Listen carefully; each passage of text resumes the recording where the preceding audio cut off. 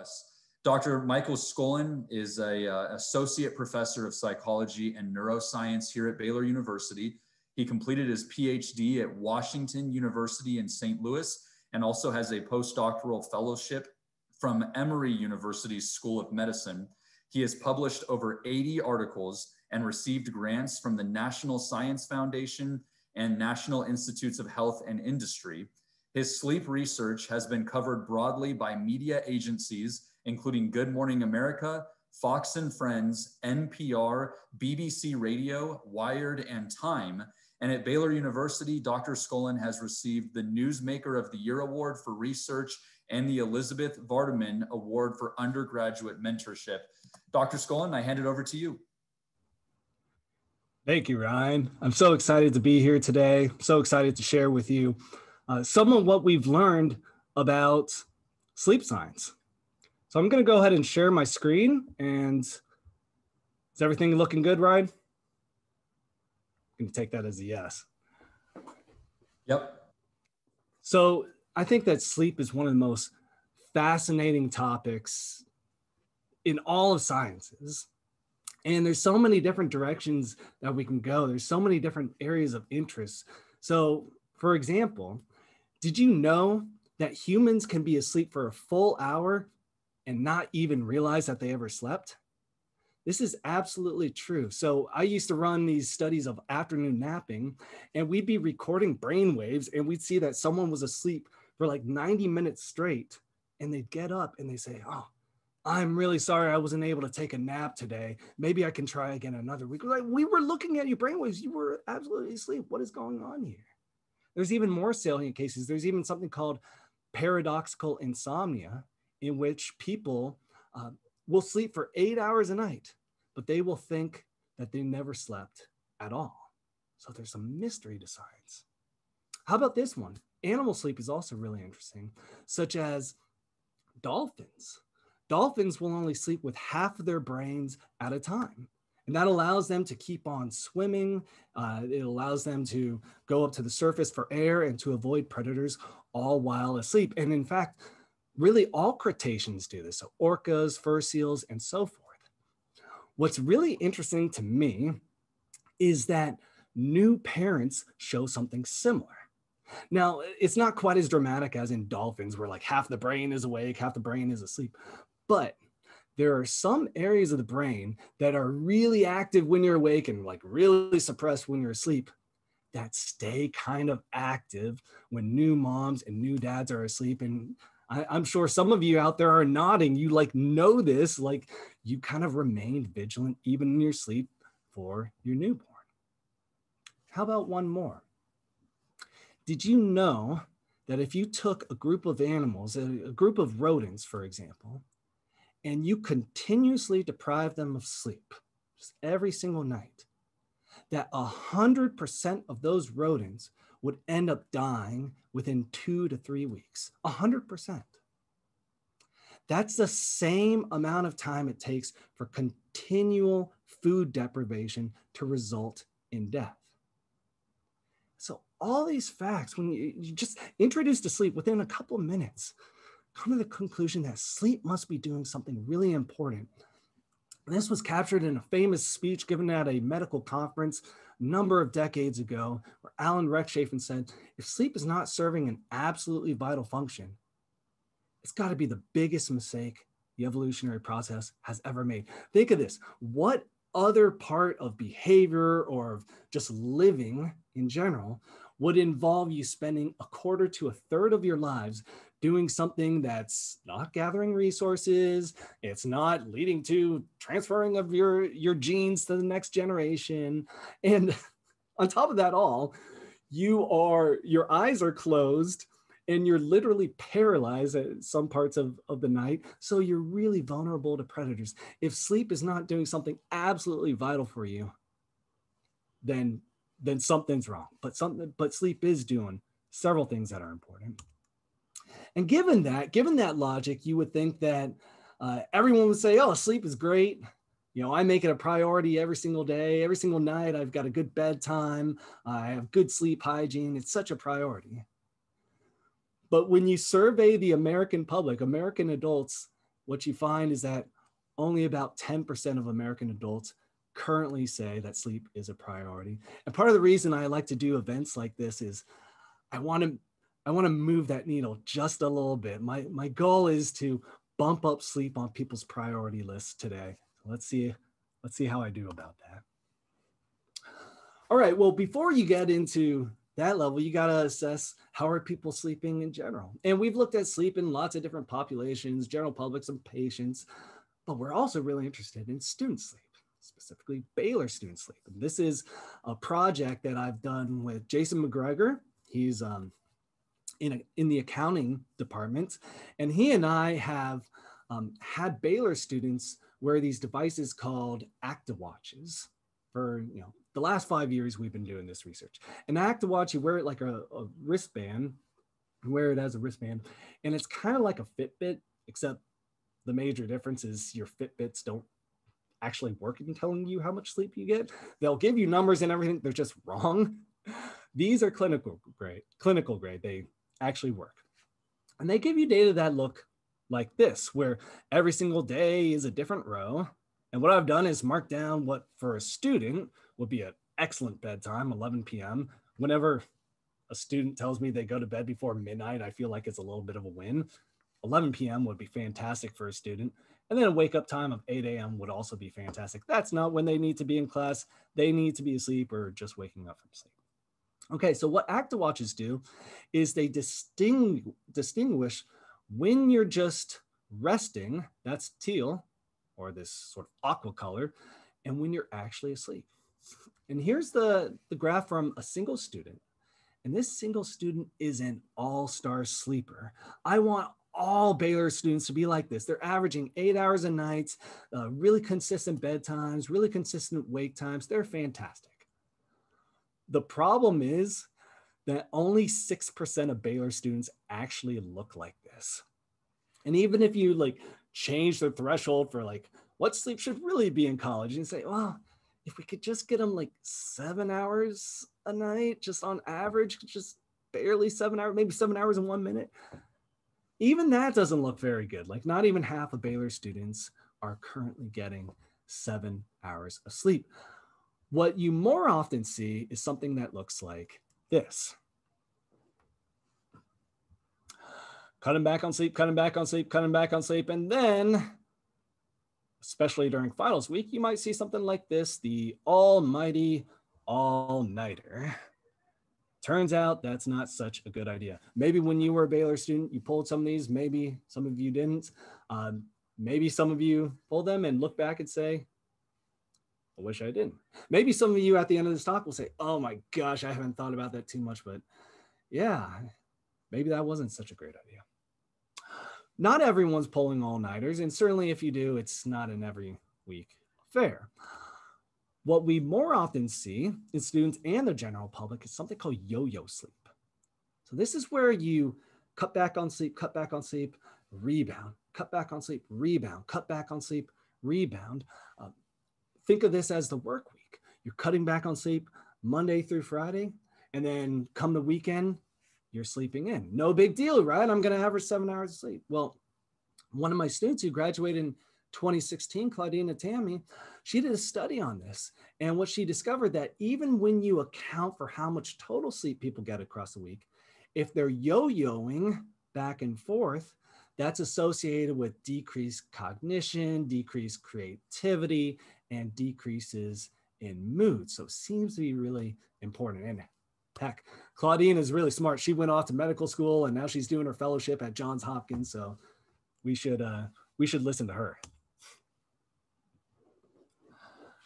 Outside of our laboratory, um, many sleep labs across the country are doing really great work that I want to highlight. One of them is showing that losing sleep increases your risk for respiratory infections. Isn't this something that mom always told us, right? Like, if you're not eating right and you're not sleeping right, you're going to catch a cold. That's absolutely true. They've shown it in many studies. Some of them are experimental. Um, there's kind of a side note there. I don't know if you'd ever want to be a participant in one of these studies. It, it would involve like moving into a hotel for two weeks straight, and half of the participants get normal sleep, so they get seven or eight hours of sleep a night, and then the other half is forced to get five hours a night. And midway through, this is the part you wouldn't want to be involved in. Everyone gets injected with a rhinovirus because the researchers were interested in who then becomes symptomatic versus whose bodies, whose immune systems are able to fight off that cold.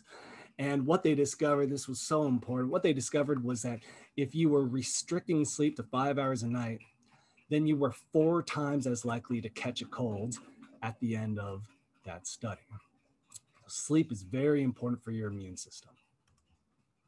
Sleep is also really important for athletic performance. This has been shown in a few domains, but one that I thought was really interesting, the um, this was done at Stanford about a decade ago. They got the basketball team to get one more hour of sleep every single night. And what they showed was that shooting percentage went up 10% with the largest effects for hitting more free throws. Maybe Scott Drew wants to give me a call. And finally, you know, this one speaks a little bit more to the college student audience, but there's really actually something to the concept of beauty sleep. They've done these studies where, uh, again, you probably wouldn't want to be a participant in, in these studies, but you would either pull an all nighter and then take a selfie, or you'd get good sleep and then take a selfie. then they took your photos, showed them to other uh, individuals who rated levels of attractiveness. And sure enough, after a night of good sleep, those photos were rated as being more physically attractive than those where they had been cutting back or they had pulled an all nighter. I find all of that interesting, but I'm a neuroscientist. I'm a psychologist, so I'm interested in what is sleep doing to the brain. And just as losing sleep is hard on the body, it is absolutely hard on the brain.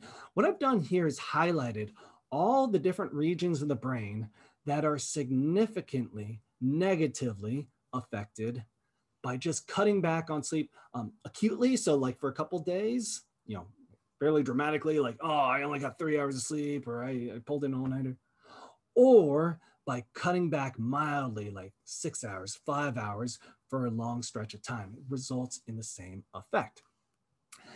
And we don't need to learn like any specific neuroanatomy here. You're probably just wondering, okay, what do these brain regions do?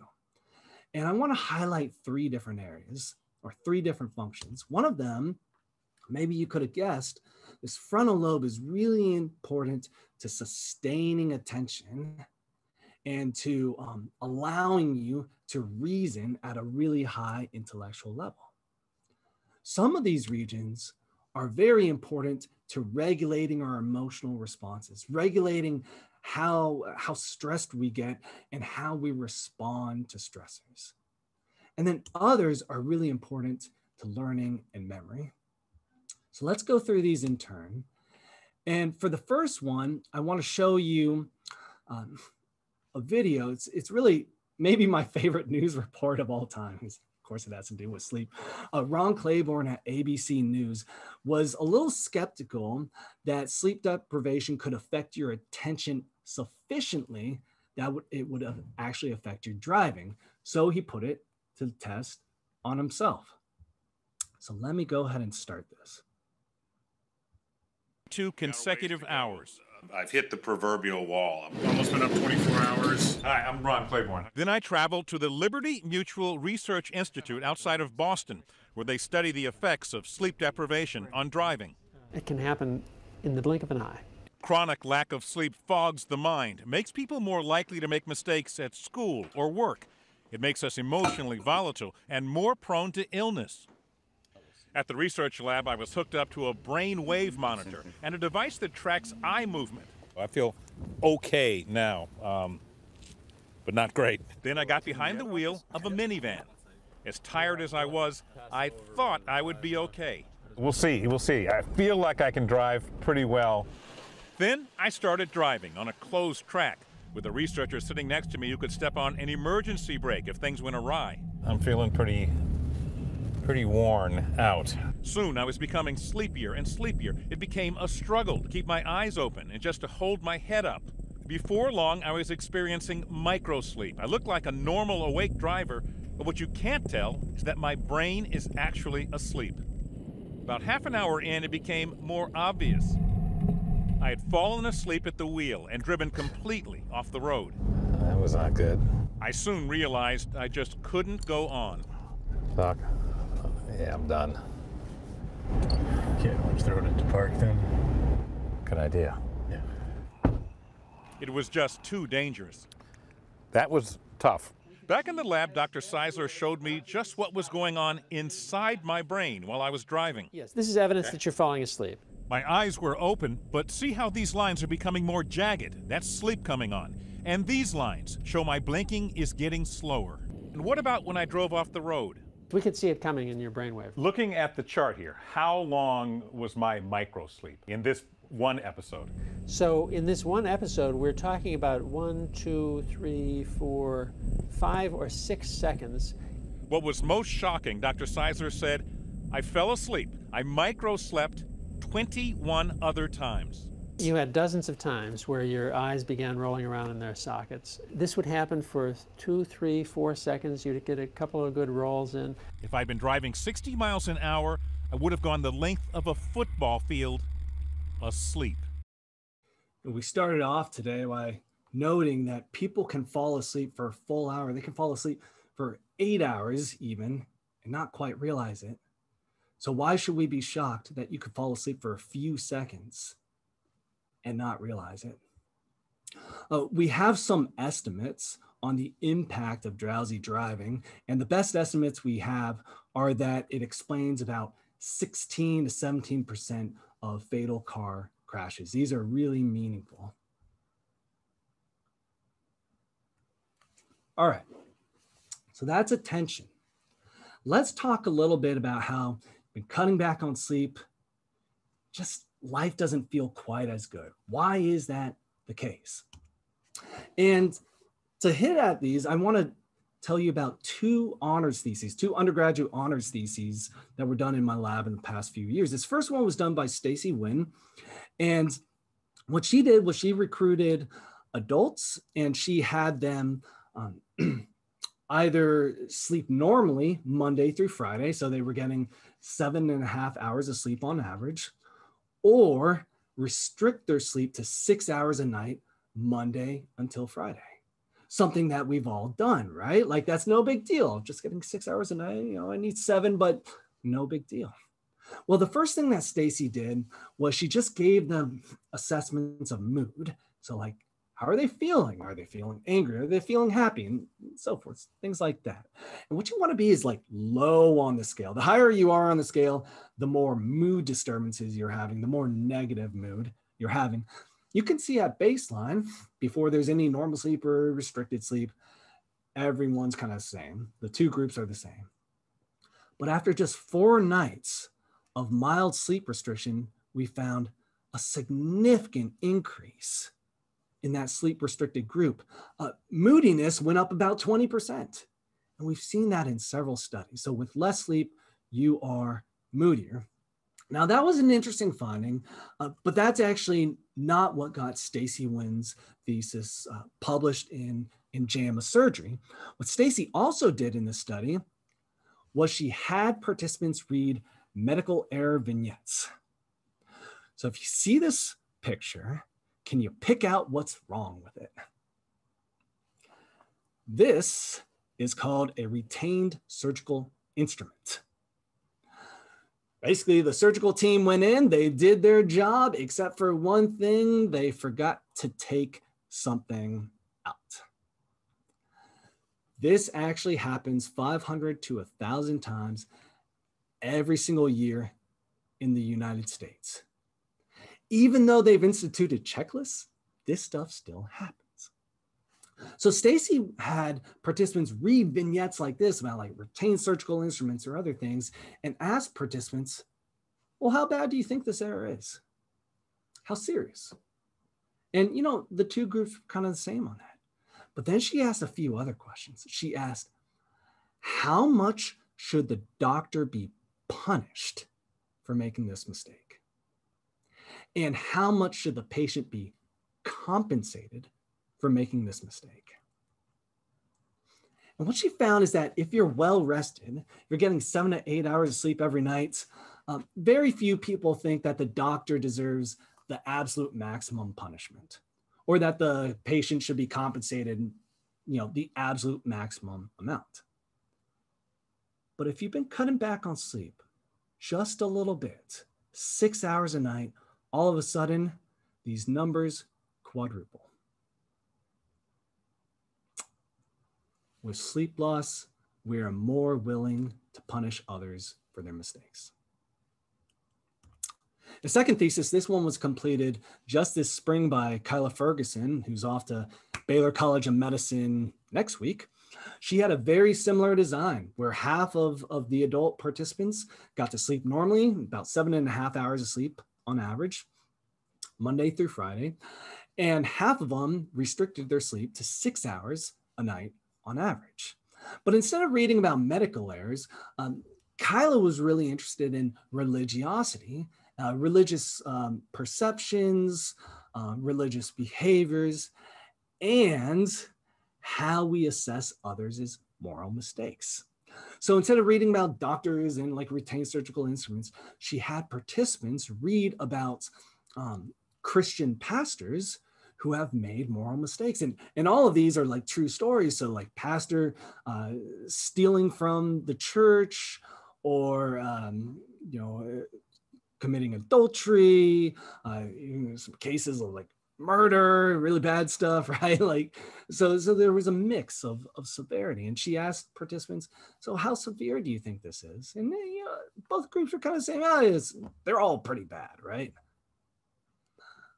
But then Kyla asked, "Should this person be forgiven?" What do you think?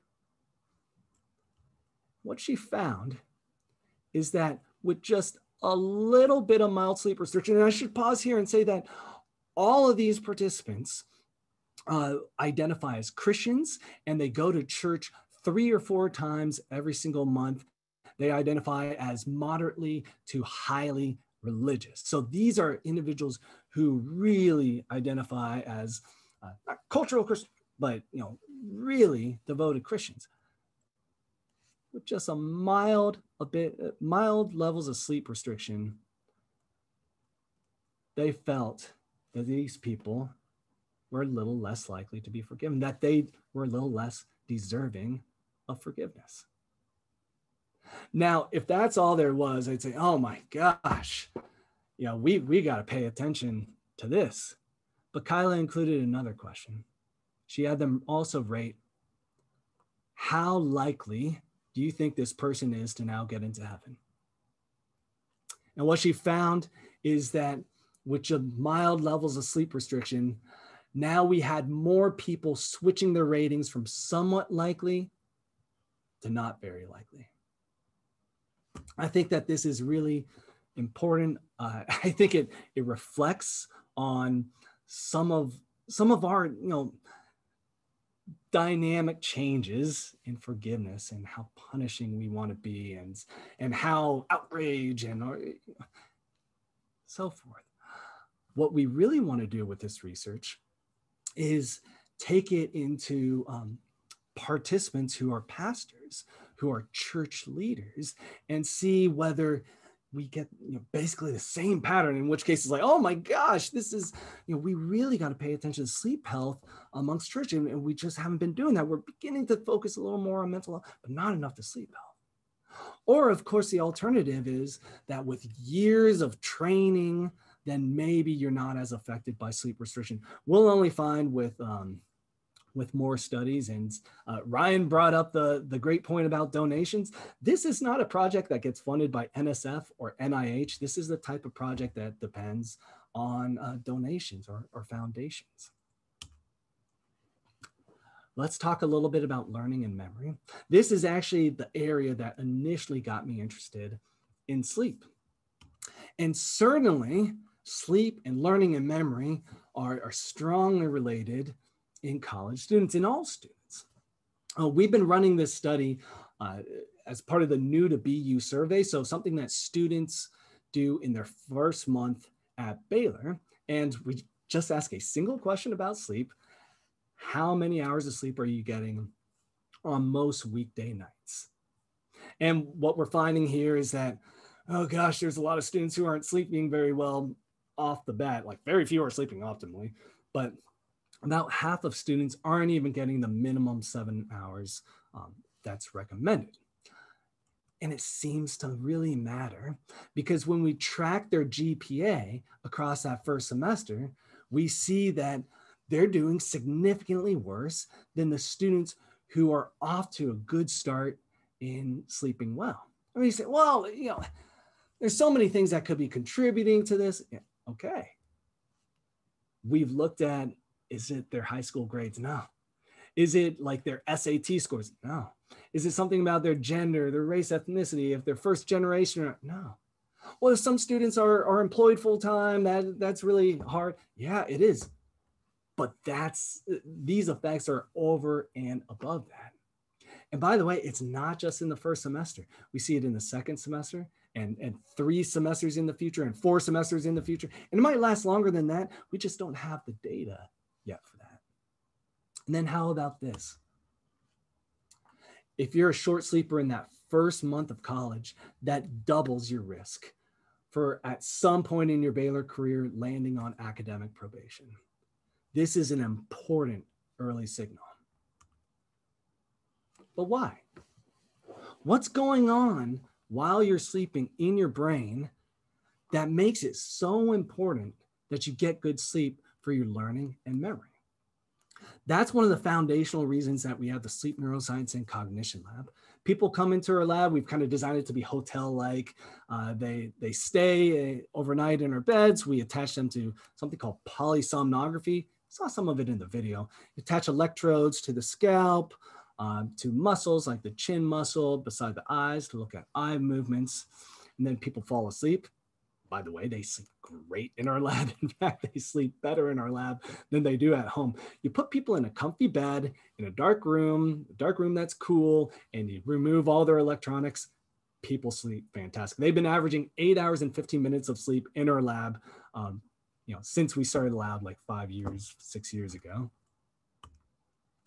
Here's what we see. So this might all look like squiggly lines, but you don't need to be a neuroscientist to say that that section on the right looks really different than the section on the left. With polysomnography, you know the moment that someone has fallen asleep. And you can also distinguish different stages of sleep. So here's a, a view of REM sleep, rapid eye movement sleep where the the brain the brain waves are kind of all crazy like you have big stuff like this and then small stuff like that and then fast ones and then slower ones. Um, it's really chaotic kind of like our dreams are chaotic right? This is when we're dreaming.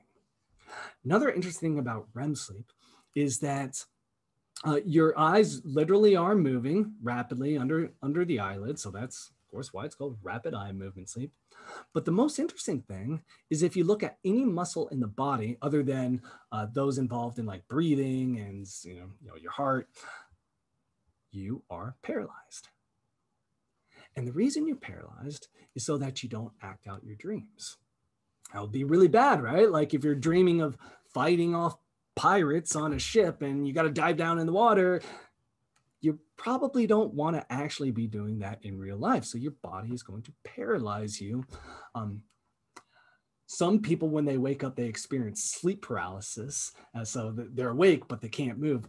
That's a signal that some of their REM sleep is intruding on their wakefulness, and normally it resolves. As you get older, normally it resolves after a couple of minutes.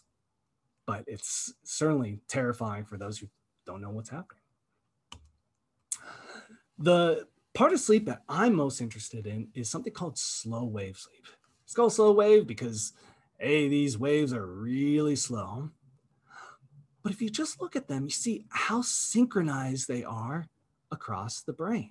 You see the waves are all sort of going up and going down in uh, the same time. And that indicates that large regions of the brain are all firing at once and all quieting down, firing at once and all quieting down turns out to be very, very important for things like forming memories. And we discovered in the 90s that that is just what's happening during slow wave sleep. So back in the 1990s, there was a scientist at MIT, and he was looking at learning in rodents. He was just looking at how single cells in the brain indicate whether you learn something or not. So he'd take a rodent and he'd let it run a maze, and he'd find that certain cells would fire in different parts of the maze, and it represented that they were learning. Matt Wilson discovered that those same cells that were firing as you're initially learning replayed themselves when those rodents fell asleep. God, this is incredible. It's like, you know, we go to sleep to help consolidate the things that we learn during the day because during the day there's so much interference there's so many things that can cause forgetting. Sleep is like a safe time for this consolidation process to occur. And it turned out he was right because he ran these control experiments where um, where like rodents didn't get to learn the maze initially but they still uh, and so they didn't show the replay. Or he showed that if you go in and knock out this replay with these like sophisticated techniques, the rodents look like they've never seen the maze before the next day. And more recently, he's shown that if you accelerate this replay, if you cause it to happen more when you're sleeping, the rodents look like experts at the maze the following day. So if you hear all that, like, goodness, so all this stuff on like sleep being important for memory. And, and by the way, that's been shown in rodents but our lab and many other labs across the country have connected the dots in humans as, as well. One of the things you might be wondering is, well, how does this relate to medicine? How does this relate to memory disorders? And, you know, my, my mom had Alzheimer's disease, or, or my grandparent, or an uncle, or an aunt, or sister. And one of the things that we realized uh, a few years ago was that there had been all these studies that were done on like different aspects of health. They happened to include questions about sleep. And then they followed people over time to see how did their memory functioning change over time? Did anyone get Alzheimer's disease? And there were like all these studies that had been done that show that short sleep in middle age or fragmented sleep in middle age predicts faster decline of memory and greater rates of Alzheimer's disease. Like this is of course like a big deal because anything that you can modify, whether you're in your 30s, 40s, 50s, 60s, or 70s, that's going to help pre- preserve your functioning and your brain health over a long period of time. We should do that, right? So maybe this is about like memory consolidation. Maybe it's about how, you know, sleep loss affects your frontal lobe and different parts of your brain. That's definitely part of the story. But now we have additional layers where we've been able to connect the micro mechanisms of these diseases to what's happening in sleep. If, if you've known anyone who's had Alzheimer's disease, if you've been affected by that at all, my family's been, been affected by that, you've probably heard the term plaques and tangles. These are considered sort of like the biological causes of Alzheimer's disease. And if you've heard of things like plaques, which end up in like causing cell death, you may have heard the term beta amyloid. Amyloid is something that like aggregates over long periods of time to form the plaques, which then cause Alzheimer's disease. Well, it turns out that at this very moment, I have a fair amount of amyloid in my brain, and you do too. Every single person on this call, and you know what? All of the students on this campus, they all have some amyloid in their brains. What differs across people is how well brains can clear out the amyloid.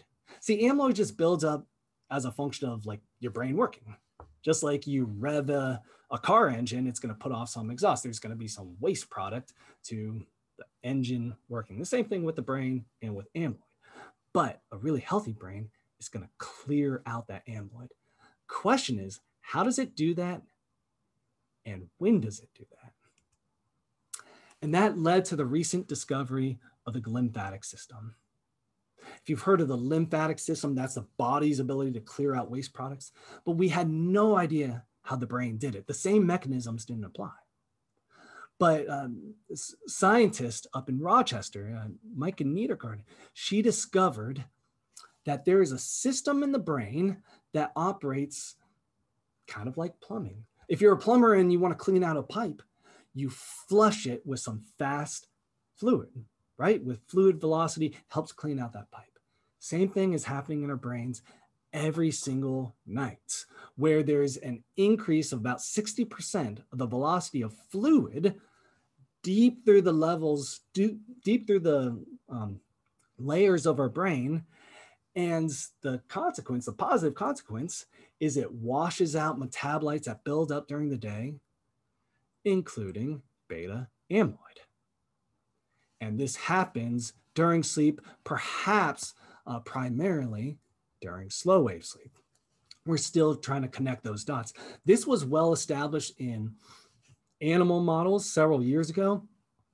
But just this year, just in 2021, was it proven that the same system is occurring in humans, and that when you uh, deprive humans of sleep, their brains are not clearing out metabolites at nearly the same rate. And at this point, you're probably wondering, how do I improve my sleep? I am I'm convinced I don't want to be in uh, the 90% who think sleep's not a priority. I want to be in that 10%, and I want to increase the number of Americans who view sleep as a priority. How do I change my behavior tonight to improve my sleep? Some of you might be thinking, "Oh, I want to change," but that's so hard. You, don't know my situation. Like, I, it's it's really really hard for me to sleep. I hear you and I'm going to try and touch on that. And let me first just try to connect that. I understand how difficult it can be to get good sleep. I'm a parent of, of two kids. Uh, Jack was, you know, born almost five years ago now, and, and Abby was a pandemic baby. She was born one month into the, the pandemic, so she's a little over a year now. And uh, they're sleeping beautifully here, but as any parent knows, um, children don't do that normally. Like it's really hard to get good sleep as, as a new parent.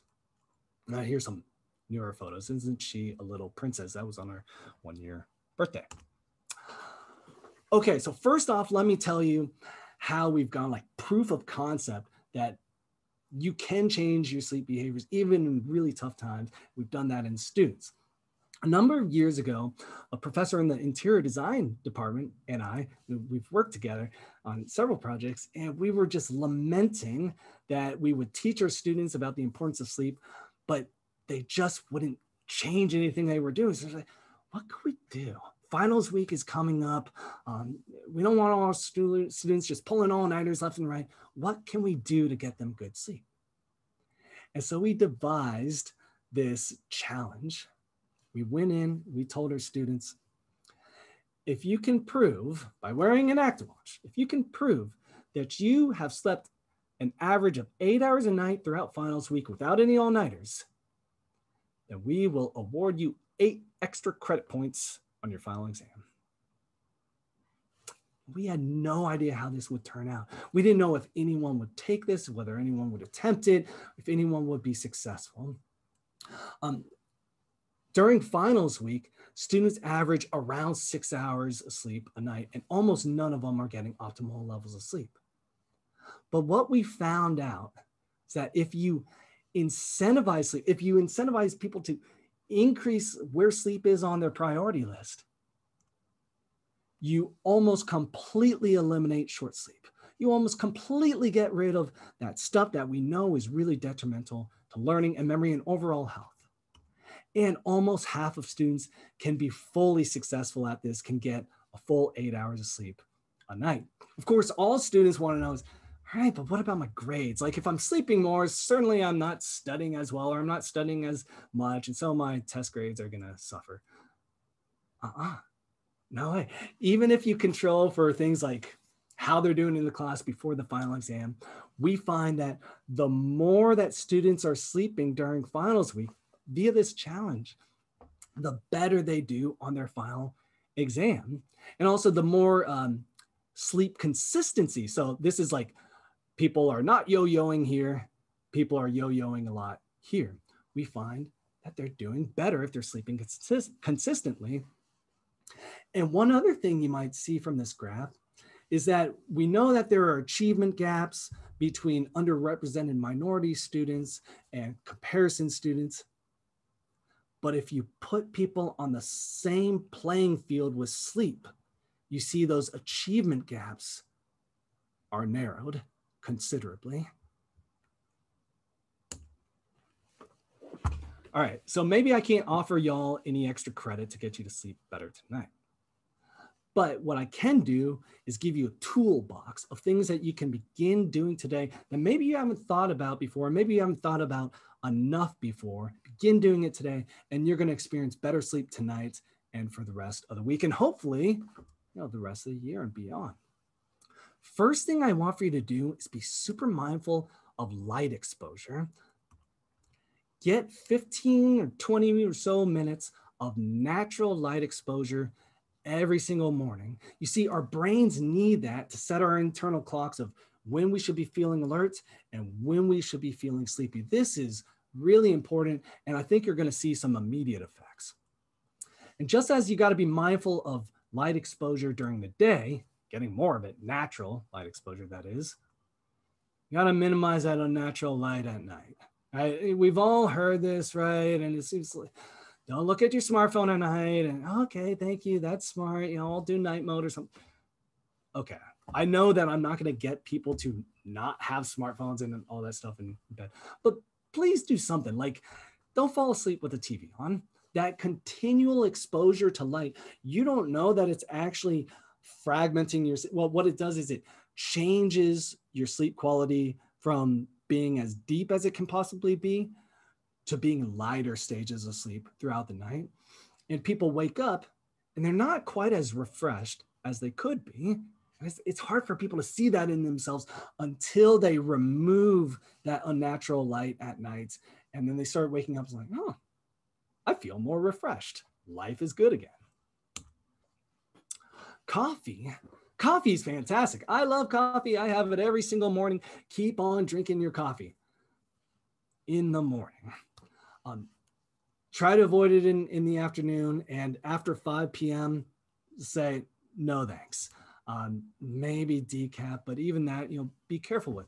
The half-life of caffeine is actually a lot longer than you'd expect. There's been placebo-controlled studies where people had caffeine as late or as yeah, as late as 5 p.m.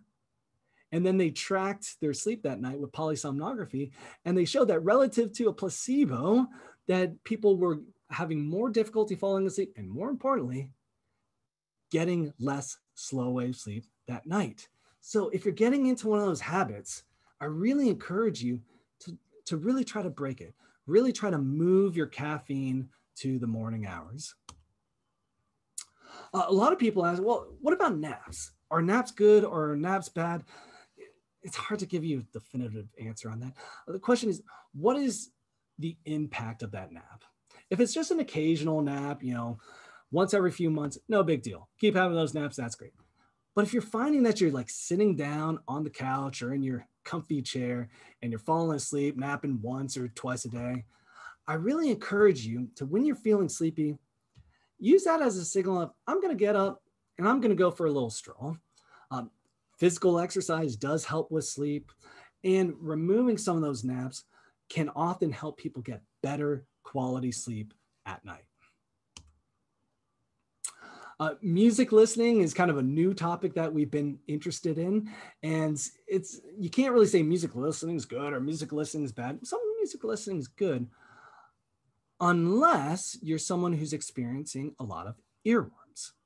Earworms are where you get something stuck in your head and it just kind of rattles over and over and over and over again. And we just published a paper about a month ago that showed that when people are listening to a lot of music, they're much more likely to get earworms when they're trying to fall asleep. And if you're getting an earworm when you're trying to fall asleep, it's more difficult to fall asleep, it takes you longer to fall asleep. You wake up more at night And you're spending more of your time asleep in light stages rather than in deep stages. And finally, one more tip. I love this tip. This was a study that was done by Hannah Ballard a few years ago, and she's going to be uh, working on her PhD very soon. Um, if you're like me, uh, sometimes you get into bed and it's like, that's when my head turns on. That's when like the thoughts are there, they're swirling, I can't get them out. Well, there's actually a trick to stopping that that seems counterintuitive. And that's taking out a piece of paper and writing down everything that's on your mind. Sometimes it's called a worry list because a lot of people they're worrying at night. Write down all those worries. One of the things that can weigh on your mind is your to-do list. Maybe you don't even realize it's weighing on your mind, but it is. And so we ran the study where people for five minutes before bed wrote on a pad of paper everything that was on their to-do list. And we found that doing that for five minutes, people fell asleep 37% faster than they would have otherwise. And the more they wrote down, the more they got everything on paper, offloaded all those thoughts, the faster they fell asleep. It's a great trick. I really encourage you to try it. It's something that that I, I do. I keep a pad of paper by my bedside in case I wake up in the middle of the night or I can't fall asleep initially. And that brings me to close. Thank you so much for your attention. I'd be happy to uh, now answer any questions you may have. And we do have uh, a handful of questions that came through, Dr. Scullin, and, and thanks again for for sharing all of that. Um, I'm going to run through the list, and um, you know, please keep those keep those coming in. Uh, one of these you kind of just touched on, but I'll, I'll ask it so that you know perhaps you might expand to the specifics of it. We had an attendee ask if you have specific recommendations for people who have a hard time winding down at night. Yeah, well, the first thing you gotta know, you gotta figure out is how much of that could be driven by work. A lot of folks now with phones and your email is constantly in your hands, you're constantly reachable. A lot of people have difficulty in setting boundaries on when their work hours are and when they're not. For me personally, that boundary is dinner time. As soon as I sit down for dinner time, it is no more work unless I get like an emergency call of something's happening in the middle of the night with a sleep lab, which rarely happens. But um, that's my boundary.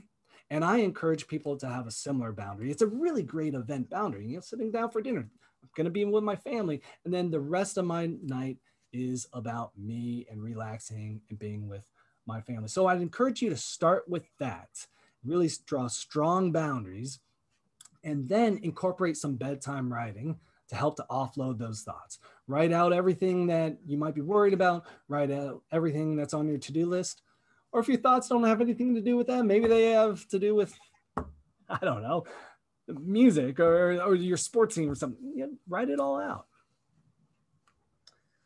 What about uh, this? This guest asks about consumer devices used for tracking sleep. Do you have one or any that you would recommend?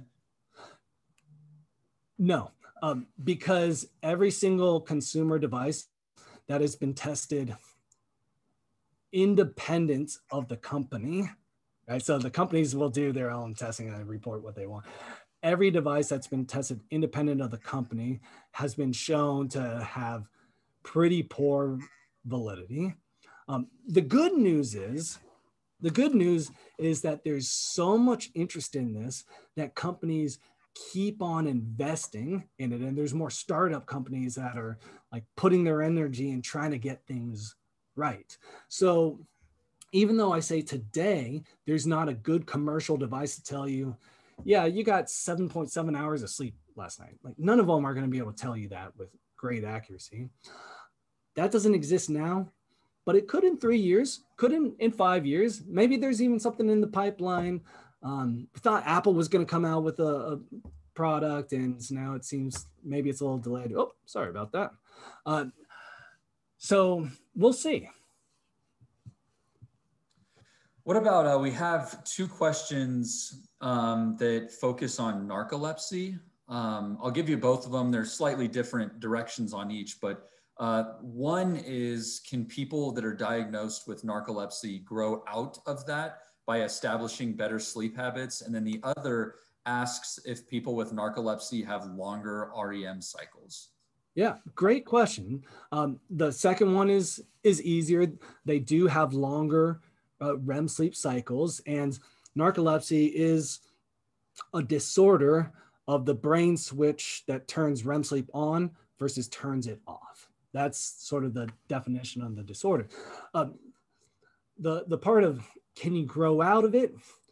Um, I can't say any of that with uh, definitively. What I can tell you is that every single sleep disorder that's been studied is exacerbated by poor sleep habits or, or by going through uh, periods where you're not getting much sleep.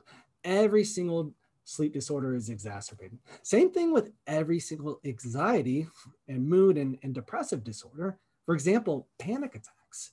This is uh, there's a classic study on this. They took people with panic attack disorder and they got them to sleep normally and like no one had a panic attack in the coming week versus another group they had them pull one all-nighter and 40% of them had a panic attack in the coming week so sleep disorder or keeping to good sleep habits consistently is really important for minimizing the symptoms of almost any disorder you have, even chronic pain. There's now a lot of evidence that the neural switches in experiencing really bad pain versus kind of acceptable pain kind of overlap with some of the sleep switches. And so if you're cutting back on sleep, it exacerbates the pain that you feel. Everything hurts more if you're not getting good sleep. So fascinating. Um, we, I, I will make a quick note. We have a few questions that have come in about uh, a recording of this event. Um, we do, uh, we or we are recording this event. Uh, one person in particular, I appreciate this. I know you will too, Dr. Scullin. They asked uh, if we could give them the recording so they could pass it to their college student uh, to, to look look at it as well. So we will send that out uh, in a follow up email, so all of you can can stand by for that. Here's an interesting one it asks about the impact of altitude on sleep. That is so fascinating. There, there was a guy I worked with at Emory who, who did that stuff. He, he would go and actually do climbs, um, not I don't think at Everest, but other climbs, and he would do actual sleep recordings at, at high levels of, of altitude. The biggest change is with your oxygenation levels, right? Which you'd expect. But if you're getting lower levels of oxygenation, the difference is when you're asleep, you don't have as much muscular control to try to breathe in deeper and to um, at, um, amplify how much oxygen you're getting. So you're actually spending a lot longer, you know, six hours, seven hours, eight hours of sleep where you're at a lower level of oxygenation than you would be if you were awake. Wow, that's interesting. Um, I grew up in Denver, actually, so I, I, know a little bit about altitude myself. That's fascinating. Um, okay, how about uh, let, we'll circle back just a tiny bit um, on something you touched on a few minutes ago. And sorry, I'm just kind of going through these one after another, but it it uh, it asks about night mode on phones and computers. How effective would you say that night mode is? It's certainly better than not using it. So if your device has night mode, then you should use it and you should set it to automatically turn on, let's say at 9 p.m. You know, something like that. That would be perfect. Um, the physiology of it is actually really quite fascinating. So over thousands and millions of, of years of evolution of the eye and circadian rhythms, our brain learned, it evolved to detect sunlight and trigger all these cascading of events of feeling alert. So when the sun is rising, hey, you better wake up because you got to go hunting for the day or you got to avoid predators and so forth. Okay, we're all good with that. But what's key here is that all of our wonderful devices that we have in the 21st century emit light at a similar wavelength as the sun. So it has the same physiological effect on our brains as just the sun rising. So it increases activity in the regions involved in like being alert. And maybe you've heard that it also suppresses things like melatonin. Melatonin is a natural hormone that rises in the evening and helps us to feel sleepy at night. But light exposure, because it thinks it's the sun, right? It decreases, it suppresses that melatonin and it increases the alerting chemicals in our brain. We have a few people that have asked, uh, I think three or four of these actually that have come through that ask if you have recommendations for people who wake up in the middle of the night and then have a hard time going back to sleep. Yeah, I know that is really, really hard. Um, my recommendation is to control everything you can control with the knowledge that the older you get with each passing decade, that's going to happen a little bit more and more out of your control. So here's what you can control. First thing you can control is are you going to bed early enough? Are you just kind of stuck in your ways? No, everyone's going to bed at 10 or 11 p.m., even though I'm feeling sleepier and I know I'm going to wake up early. Maybe adopt an, an earlier bedtime. That's that's strongly encouraged by the sleep medicine community. So that's that's number one. Number two is think of what you're putting into your body in the evening that then might lead to more awakenings. And here are a few things. A heavy meal, right? Man, I love pizza night, but I do not sleep as well on pizza night. I'm going to wake up more often. And really well designed studies have shown that if you switch from a diet that's kind of higher in the saturated fats to a diet that's higher in fiber, sleep quality improves. All right, similarly, thinking about what we're putting into our body at night, what are you drinking? You enjoy some nice uh, water for dinner, or you, you know, wine, beers, so forth. We know that alcohol, even just a little bit. Uh, so the rule of thumb is one drink for females, two drink for males, all depending on body weight, of course, um, is sufficient to wake you up earlier. And you might trick yourself and oh, I'm, I'm just having one one glass of, of wine. It's no big deal. Yeah, it's kind of not, except if you're waking up a lot, you know, before you want to, I really encourage you to take a break from that for like five days. And if you're not sleeping any better, ah, Scullin was wrong. You know, go back to enjoying your your nice Cabernet or whatever. Um, but if you are sleeping better, take that as a note. That's that's meaningful, and it doesn't mean that you don't ever have to celebrate. It's it's just be conscientious of when and how. And you know, like me with my Friday pizza diet, I know that's going to come at a little bit of a cost. So those are a few things that we can control. I'm sure some of these we've gotten some of these questions about dreaming, um, and I'm sure you know goes down a really long path, and you could probably talk for hours about this. But some people are asking about you know if if they have violent nightmares or you know those types of very vivid dreams. Um, you know, does that indicate anything, or just kind of your thoughts on on that sort of thing? Okay, great question. Um, the first thing that I note is that if you're experiencing um, persistent nightmares that are bothersome, you want them to end, there are treatments for that. So there's something called image imagery rehearsal therapy, and most um, most sleep specialists will know this. Most uh, cognitive behavioral therapists will know this. They'll be able to apply the treatment, and it is really effective. I mean, the the original clinical trials were published in JAMA. It's it's really effective. So you can do something about those nightmares. Uh, the other question is, when you have these nightmares, do you find that you're acting out your dreams?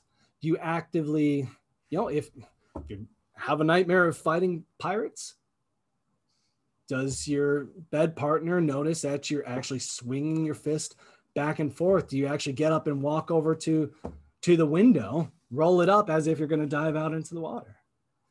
And if that's the case, again, I'd, I'd say you want to make an appointment with a sleep specialist. It's possible that signals a, um, a condition where you would want to treat it. I mean, uh, if you're acting out dreams, that can be very um, consequential to to the bed partner. There have been people have there's bad stories. People have gotten hurt from that.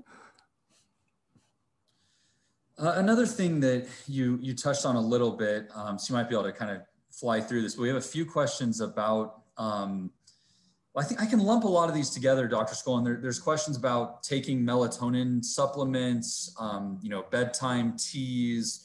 Um, so, you know, one person in particular says, "Can you take too much melatonin?" And then another says, you know, should I take some type of nighttime tea or, or something like that? Do you do you have kind of general recommendations on those things? Uh, melatonin, that's a fantastic question. The good news about melatonin is it's really not going to harm you. Uh, it's it's super safe. The bad news about melatonin is that it's almost never used correctly. It's all over the counter, and a physician is never recommending it, saying, take it at this time, this dosage. It's almost never used correctly. Most people will just pop some right before they get in bed, help them fall asleep. That has almost no benefit in placebo controlled studies. Melatonin is uh, much better used to reset your circadian rhythm. So, for example, if you're going on a trip, you're flying to Hawaii or Europe or whatever, crossing a bunch of time zones, and you want to minimize jet lag, use melatonin to do that. If you want to use it as a sleep aid, again, it it has a little bit of effect, but really not much effect. It's it's not the best thing you can be doing. But if you're going to use it as that, you actually want to take it a couple hours before going to bed. Like I said, almost no one takes it it correctly. They're taking it right at bed. You know, take it, you know, a few hours before bed. And you know, if you want to have another small dosage right before bed, that's okay. But it's it's really the timing is everything when it comes to melatonin. How about what was um, the other question? It was about tea at, at night. That's yeah, right. you know, it's it's the same. I'm assuming that this isn't caffeinated tea to, to begin with, um, because if it is, then the answer is clear. You know, you probably shouldn't do. Um, if it's not caffeinated tea, I, I suggest uh, same thing as uh, folks who are enjoying a glass of wine with with dinner. Um, I challenge you to take four or five days away from it. And if it's you see no change to your sleep quality, say, whatever, Scullin, I'm back at it. I enjoy my tea. I love it. And, and I'll say, fine, fantastic. Keep sleeping well. But if you discover, you know, maybe that thing that I really, really desperately don't want to give up in my life, that thing I really, really love, maybe it is kind of what's holding me back from thriving. So yeah, that would be my challenge. One other person asked about essential oils and if those help with sleep. Yeah, there, you know, you'll find uh, some a number of stuff online, and, and there's some even hospitals that are actually uh, doing things like that, like the Mayo Clinic. The Mayo Clinic, Mayo Clinic's fantastic. It it actually cares about how um, patients are, are sleeping while, while they're staying there. And you know, maybe a bunch of hospitals will say they do, but the Mayo Clinic actually takes clear steps to try to get their patients to sleep better. One of the things that they offer is basically different forms of aromatherapy. Now, how effective is it? There's been a couple studies that have suggested maybe it helps. Um, my opinion is it's not going to hurt you, so it's safe, but also that we know better ways to improve your sleep. So I keep doing it if you love it. That's fantastic. But I challenge you to get out a pad of paper and a pen, keep it by your nightstand, and write out everything on your mind before you, you go to bed. I, I, I think you might find that could be more effective. Let's also uh, let's get a definitive answer on this too. Again, it's something that you you know touched on a, a, bunch of times but but we're still getting i think people want you know like a specific answer to um, exactly how many hours of sleep you would say someone should have on a nightly basis. Yeah. Okay. Great question. The um the consensus recommendation of all the associated sleep societies and medicine folks the research folks is that adults should get between seven to nine hours of sleep on average. That was the consensus they were able to come to because they say that eight is almost certainly optimal, but there are cases where people don't need eight hours of sleep. There are cases where people need seven hours of sleep, and you know, getting seven versus eight, that they do just the same. So they give a range, but what's often missed with that range, people see that range like, oh, okay, so I only need seven. They said seven to nine, I only need seven. Well, not really. There's just as many people who actually need nine hours of sleep as do seven hours of sleep. And if you're someone who needs eight and a half, nine hours of sleep, and you're getting seven, seven and a half, you're actually restricting your sleep every single night. And you, you might be exhausted all the time. And you think, oh, I'm getting seven and a half hours of sleep. What's the big deal? Yeah, but you might need more. So, my challenge to everyone who says, hey, I'm, I'm a six hour sleeper, I'm a seven hour sleeper. Okay. All right. Give me one week. Give me one week where you are going to allot an extra hour of time in bed. Um, earlier, later, maybe earlier is a little bit easier to try to adapt. Try that for one week. And if you're not sleeping more, and if you're not happier that you change your sleep patterns, say, whatever, Scullin, I'm going back to my six hours to my seven hours. I say, hey, great, man, I, I really admire you. I wish I was a six hour sleeper. I, I thrive off of eight hours and 15 minutes of sleep. Um, so that's my challenge. And, and say one more thing to back that up. A number of years ago, there was this big study done on four pe- 400 people uh, who identified as I'm a seven hour sleeper. That's all I need. They took these 400 people and they got each of them to get one more hour of sleep each night. So to become eight hours of sleep. Then at the end of the study, they said, okay, so how'd it turn out? People were happier, fewer mood disturbances. They felt better. They felt like their brain was more, you know, active more there. They didn't want to go back. Here's a, and let's do, we'll do a couple more and then I want to be, I want to be respectful of uh, Dr. Scullin's time, but um, uh, this, this is another one that I, I personally think is super fascinating. Um, and we, we haven't really touched on it yet is um, if there's a sleep position, you know, like on your back or on your side or something like that, that uh, would improve the quality of your sleep perhaps. Great question again. Uh, I think the biggest thing you got to think of is how does sleep position affect sleep apnea? Now, we didn't touch on this at all today, but it's really important. There's a condition called sleep apnea where you either stop breathing completely while you sleep for 10 seconds or more, or your breathing is reduced by like 50%. And this doesn't just happen once at night. for a lot of folks, it'll happen 50 times at night. That's actually only considered mild. And then you can have moderate and severe, which would be 200 times a night or like 400, 500 times a night. This is really, really hard on your heart and it's really, really hard on your brain. As it turns out, sleep apnea is considerably worse if you're sleeping on your back than if you're sleeping on your side.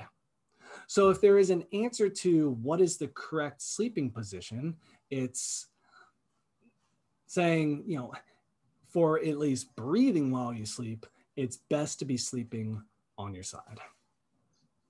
I'll also tell you a personal story. So my dad, my dad is is is a really fit guy. He's he's really health conscious, but he was a snorer.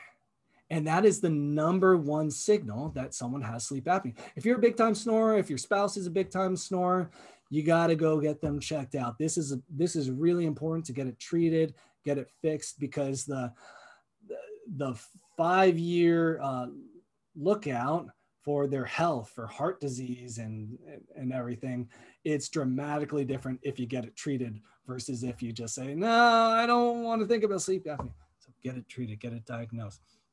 Uh, my dad, who's fit and healthy, he was a snorer, and you can have really very mild levels of sleep apnea if you're doing certain things like sleeping on your back. And my dad was a back sleeper. So I got him to sleep on his side.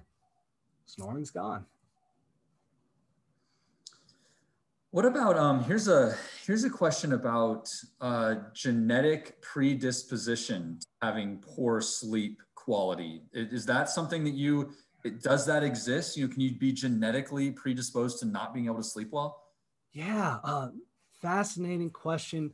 It, the angle that sleep genetics has normally gone on is can you have a genetic predisposition so that sleep deprivation doesn't affect you as much?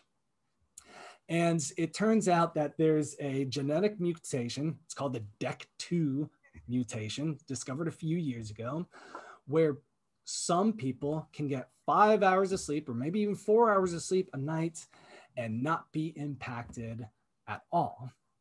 And uh, I don't know this for sure, but I'm pretty sure I know two people in my life had the DEC2 mutation. Uh, they're short sleepers, four or five hours a night, but that doesn't necessarily tell you that they have it, right? There's some people just don't get enough sleep. The other signals are these are people who drink zero caffeine. They, their body just can't stand it they run on high enough energy. It is. If you pour something else in the tank, it just explodes, right? No caffeine.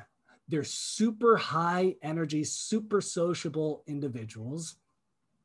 And um, oh, what's the other thing? Oh, I'm totally blanking on the other thing. Uh, but they're just extremely outgoing, no caffeine needed ever. Um, they're often very highly productive, highly successful individuals. And so people are beginning to study this DEC2 mutation and what does it mean? And can we somehow use it for all of the population only need five hours of sleep? I don't know, you know, check back in 100 years. Um, okay, uh, let's see. Let's, I'm going to do this is a really, really quick one. Um, and, and I think the answer, it's, it's a kind of a question, but I do think that it's important for possibly some of the parents and, and such on here. Uh, someone said they're a student that is coming into Baylor, an incoming student, and they're interested in what you're doing and the lab and being a part of that. Um, so if there are parents on here listening, they have current Baylor students, um, you know, should they reach out to you or, or how does that process work? If if the student is interested in in joining the lab as a research assistant, fantastic. The maybe the very best part of my job is is mentoring students. I absolutely love it, and you know, hopefully you saw that from you know the highlighting of some of my past graduates. Uh, the best thing for them to do is get in their freshman year and kick butt. You know, do great in your classes, show that you can manage your time well, show that you can manage your life well, because that's evidence that lab, that's a big commitment that you're able to add on something to that. So we don't consider applications from freshmen. We tell them just focus on your classes, do really well in your freshman year, get off to a good start. And then in the sophomore year, we have an application on our website. So if this is the type of stuff they're interested in, you know, check us out on our lab website. You can Google Scullin sleep or something like that, and something similar will should pop up.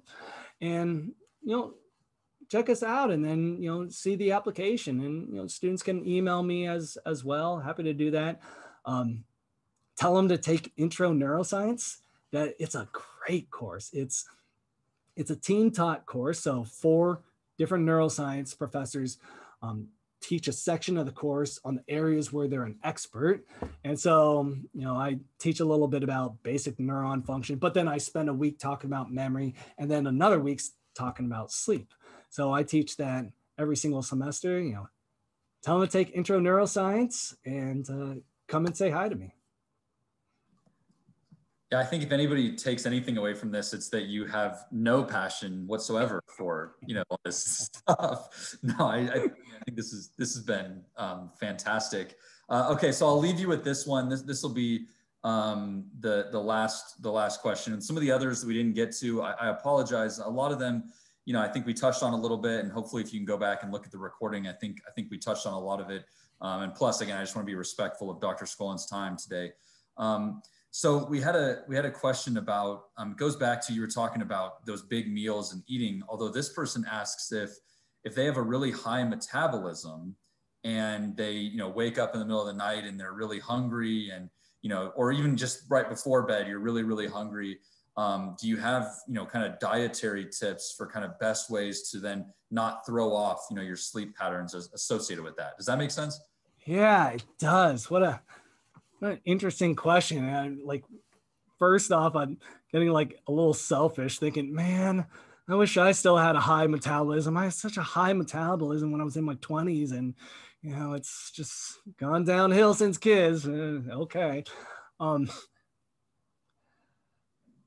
you know, I don't have a great answer for you. I, I just won't. I, I think monitoring how eating at nights, how different meals, different different types of food affects whether you wake up hungry in the middle of the night.